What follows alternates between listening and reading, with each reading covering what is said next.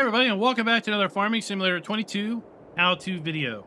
Today we're going to take a look at a trio of crops in wheat, barley, and oats.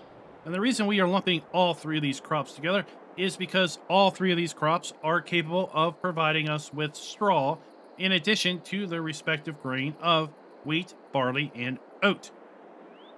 Now, for those of you who are playing with seasonal calendar enabled, let's go ahead and see what the plant and harvest schedule looks like for the default base game seasonal calendar.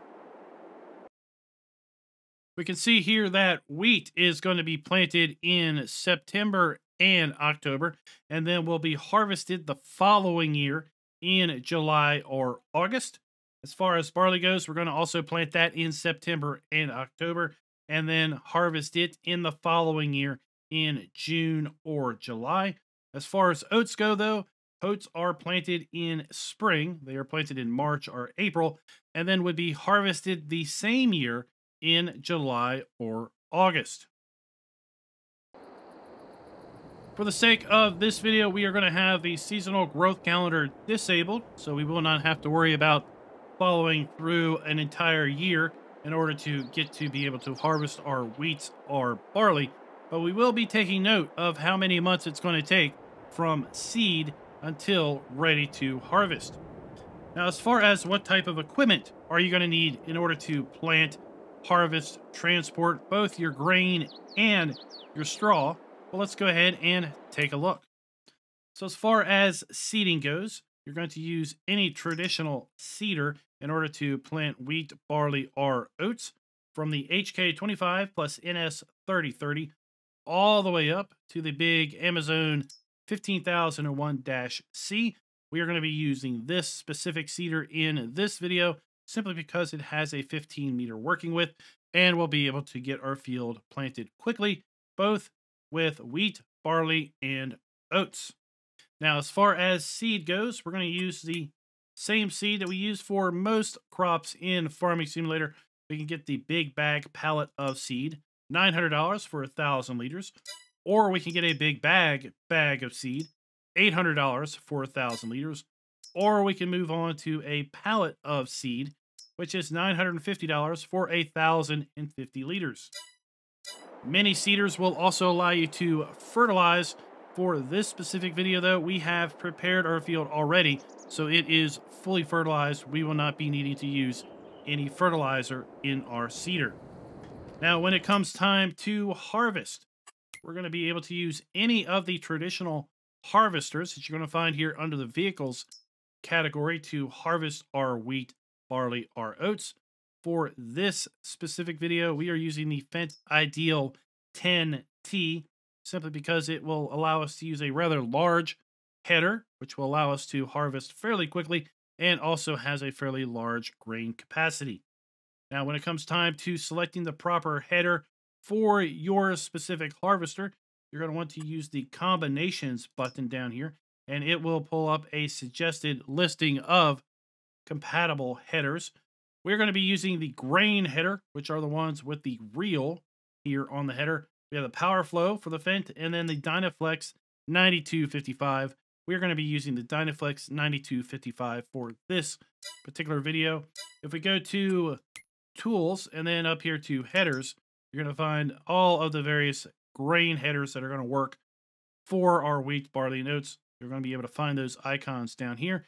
And as I said, they're going to correspond to all of the headers that have the intake reels on them.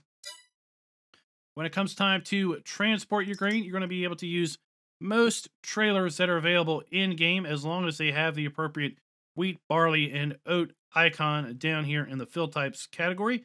You see those right here, wheat, barley, and oats. Now, as we move up through the various size trailers, when we get to some of the larger trailers, they are specifically designed for the purpose of transporting forage crops as opposed to grain crops like the Radium 255, for example, which is only set up to take grass, hay, straw, silage, wood chips, sugarcane, and chaff. For this particular video, we're going to be using the Lode King Distinction Triple Hopper because this trailer actually has the capability of transporting three different grains at the same time because there are three different hoppers in the single trailer. Now, when it comes time to talk about the straw, there are multiple ways of collecting the straw off the field. One of those would be the use of a forage wagon. We've demonstrated the use of a forage wagon in part three of our grass care series that we recently put out. We have the Faro 4010D. This is the one that we are going to be using today for the purpose of collecting loose straw off the field. Now, if you like to use a baler, you can also use a baler to bale straw from the Massey Ferguson 1840, which is a small baler. Or we could go to a round baler if you wish to use round bales. For the purpose of this video, we're using the New Holland Big Baler 1290 High Density in order to make square bales. Uh, when it comes time to transport your bales, you're going to use a bale loader. Again, we demonstrated the use of this in our grass care series so we're not necessarily going to bother with that. When it comes time to storing your straw, you can store your loose straw in a hayloft that is available here under silos. Haylofts. We're going to demonstrate putting this, putting our loose hay, or sorry, our loose straw in the hayloft as well as pulling it back out. Now, as far as other uses for straw, you're going to be using it in your animal care, specifically for cows and pigs.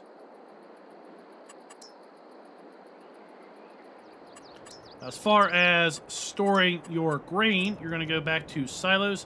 And you're going to be able to store your wheat, barley, or oats in a traditional grain silo, like the Una Pharma 400 OBI 1000. And then it will move up to the various sizes all the way up to the big NL 1622-16000 grain silo. So with that, let's talk about our field and how we have already prepared our field to accept our seeder. We're going to be using Elm Creek as our demonstration map, and we are here on field 33. This field has already been prepared, so it has its need plow state removed. We have limed the field. We have also fertilized the field twice and removed any stones that may be on the field. Let's go ahead and jump in our case here. Get our seeder all ready. We're going to plant all three crops on this field. We're going to first plant wheat, then we're going to plant barley, and then we are going to plant some oats. Right now the seeder is set to plant wheat. Let's go ahead and hire a helper and get that process started. Now once we have seeded wheat, you can see that we need to come through here with a weeder and a roller in order to maximize our yield bonus so we can get plus 100% yield bonus.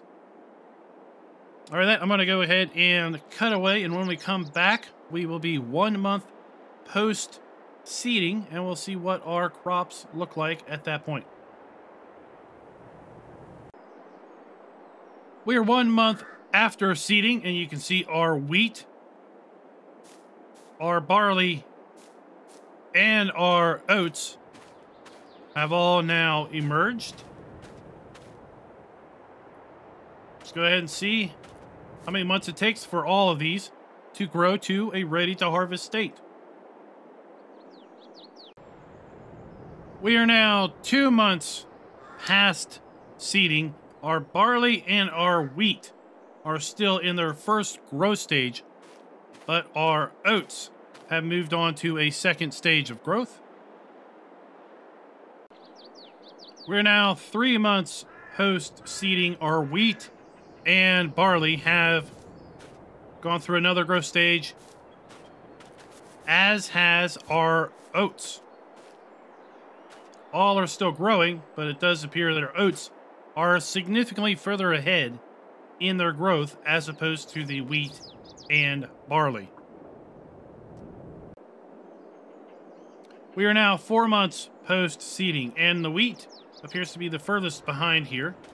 We have a growth stage for barley And our oats actually are ready to harvest. So oats, four months from seed to harvest state. Barley is apparently one or two months behind. And then wheat, well, yeah. We'll see how long that really takes. Five months post seeding, our wheat has now gotten ahead on it. Our barley is still in the same growth stage as we were before. And of course, our oats are still ready to harvest. We're now six months post seeding. Our wheat is still growing. Our barley is ready to harvest. And of course, our oats are still hanging out, waiting for the wheat to catch up. Finally, seven months after seeding, wheat is ready to harvest. Barley is still ready to harvest. And quite frankly, we could have almost harvested, seeded, and harvested oats again in the same time that it took for wheat to grow. So, seems pretty evident. If you are desperate for straw, oats will get you straw the fastest when growing without seasonal growth. So let's go ahead and talk about a really interesting feature that I don't think a lot of people know about with respect to wheat, barley, and oats. And what happens if you mow the crop. So this works if you have the crop ready to harvest. Okay, you cannot mow wheat, barley, or oats until they are in a ready to harvest state. And when you do that, you can mow them and you actually get straw as the output from the mower. So I want to go ahead and demonstrate that in a recent live stream that I did. I put up a poll and out of over 200 respondents to that poll, two thirds of those respondents did not realize that you could mow wheat, barley, or oats. And you would get straw as a result. So that was our wheat. Now we are mowing our barley. And now we are mowing our oats. So you might ask yourself, why would I want to grow wheat, barley, or oats? Just for the sole purpose of then mowing the crop and getting straw. Well, let's say you are a cow farmer. You have cows. That is all you have. You have no need for the grain. Wheat, barley, or oats as a grain crop are useless to you. You have no purpose in needing to own a harvester that would harvest a grain crop. But you do have a need for straw. So your options are either one, buy straw, or two, grow wheat, barley, or oats, and then mow it for the explicit purpose of then collecting it for straw.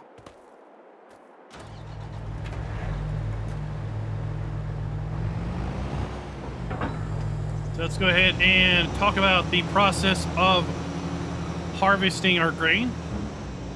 If you've seen any of the other how-to videos around a grain crop, for example, soybeans or canola, you know that we're going to use our grain header and we're going to use our harvester.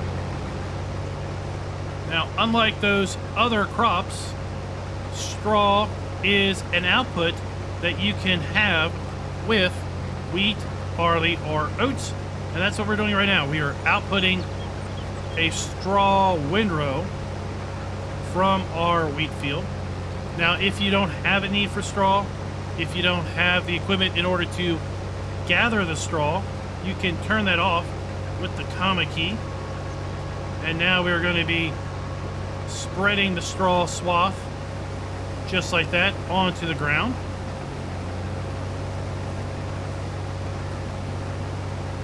So you can have it either way. You can have either straw accumulate into a windrow or you can just scatter it on the ground like this. I'm going to go ahead and hit a straw windrow back. As you can see, there's no inherent benefit in the base game to just scattering the straw onto the ground. It does not give us an extra fertilization layer.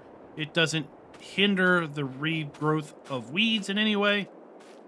But if you do not have the ability to gather straw, then really there's no need to have a straw windrow be dropped. Now we've already demonstrated that you can collect the straw windrow with a forage wagon. What I want to do now is just quickly demonstrate that if you wanted to, you could bale straw also. Now, we went into significantly more detail about balers in part four of our grass care series. Was it part three? No, it was a part four, I believe. I encourage you to go check that out if you're interested in more details about the specific balers. Here I just wanted to demonstrate that we can indeed collect our straw windrow, and we are producing bales with that straw windrow. All three of these crops will produce straw.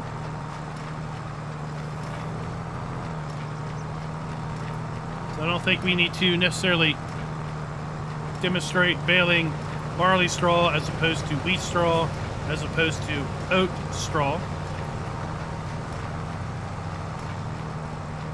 Now, anyone that's watched my videos knows that I'm not necessarily 100% focused on yield output, which crop provides the most yield. That is not my intention in these videos. My intention in these videos is to show you the process and explain to you the process.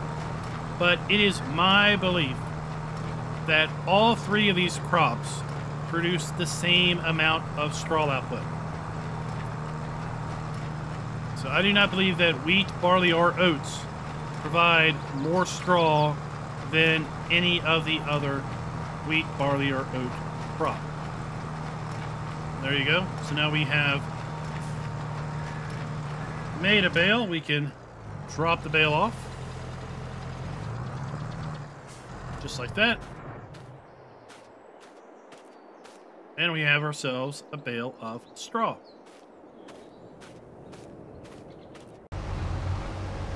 Now, as we have also demonstrated in some previous videos, you can use the Bergmann auger wagon to collect your grain out of the harvester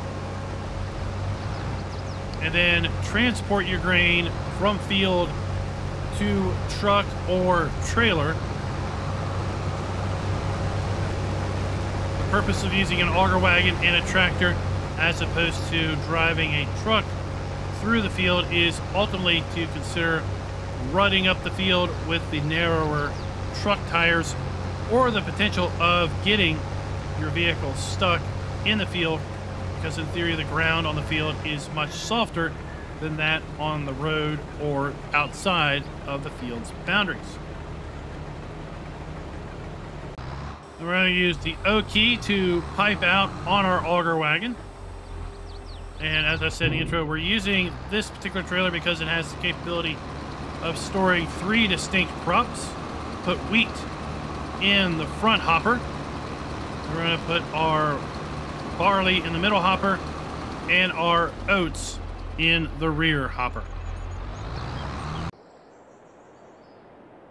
Now, after your crop is harvested, you're going to come through here as you would with other crops and use a mulcher to mulch the stubble, work it into the soil, or at least put it on top of the soil so that then when you do your other field work, like cultivation or plowing if it is required, then you can incorporate that plant matter and you will get an additional yield bonus as a result. With respect to straw, you can store your straw in a hayloft, as I mentioned in the intro. That is right here. We have a hayloft placed. We'll drop the straw off here at the side. Straw is then used, the blower is then used to put straw in the top of the hayloft. And then we're going to extract our straw out from the middle. Straw serves a couple different purposes. One, you can use straw in your cow or pig pastures to act as bedding so then you can get manure.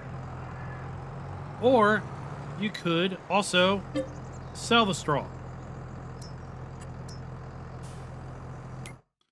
We go to our prices screen. We're going to come down here to straw. You can see that we can sell it either at the animal dealer or the South Valley Biomass Energy facility here on Elm Creek.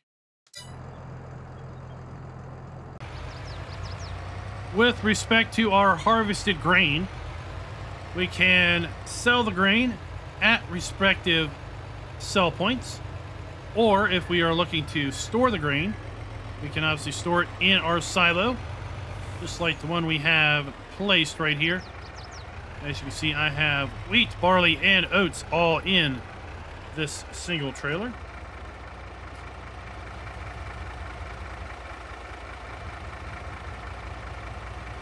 While we are unloading our grain, let's go ahead and also look at our sell points for these three particular crops.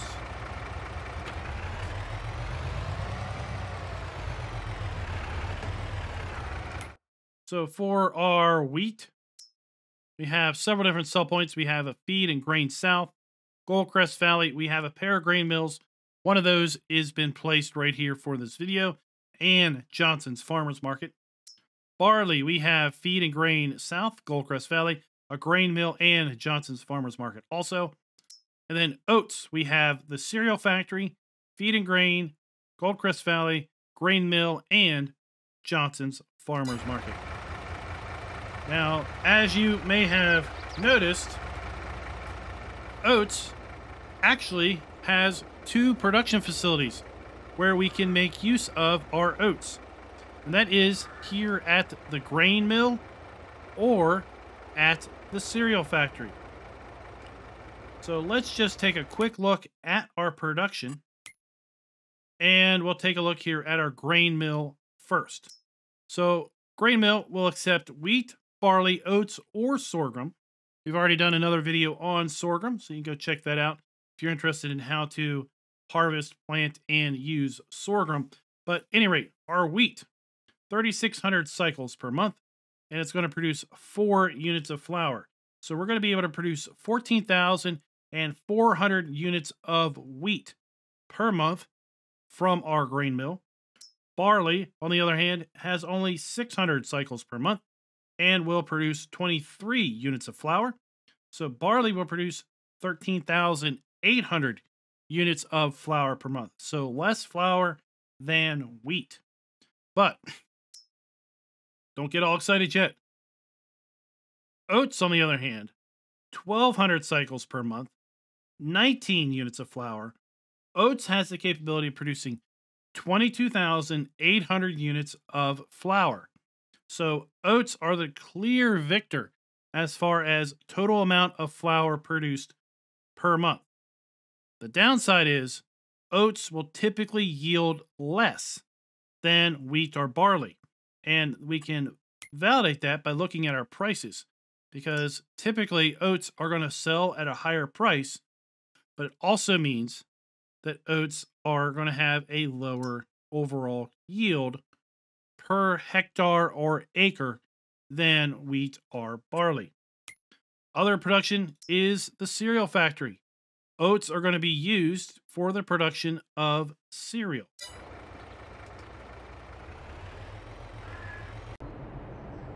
Now let's take a look at the various production revenue that we can get for selling further refined wheat, barley, or oats here at the grain mill.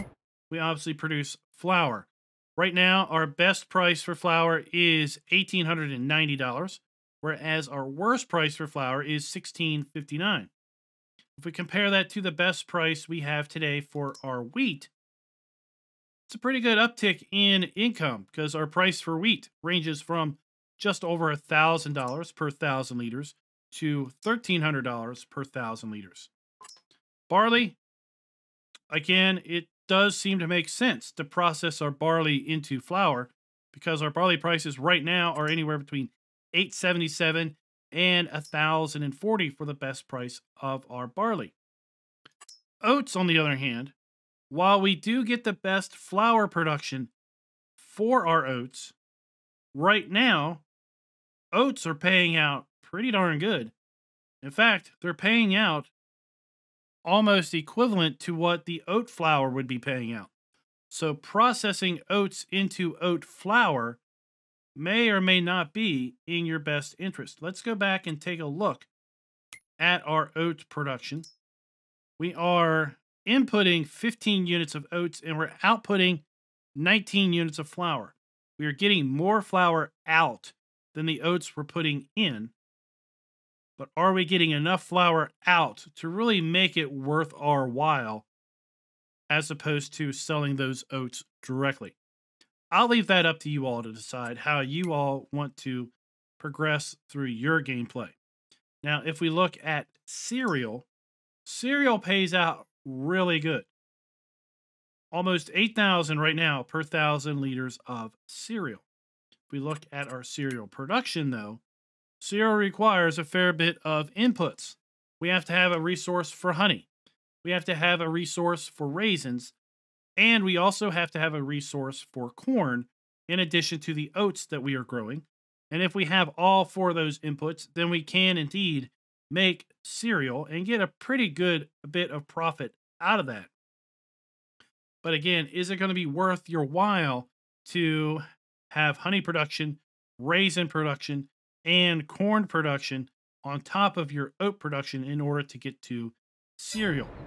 I'll leave that up to you all to decide that as well. So guys, I hope this video was useful and helpful in some regard. What we learned here is how to seed wheat, barley, and oats, the growth time frame for all three of those crops, and the fact that oats will basically grow much faster than barley or wheat. What we can do with not only the grain, but also the straw that may come off the field as a result of our crop harvest.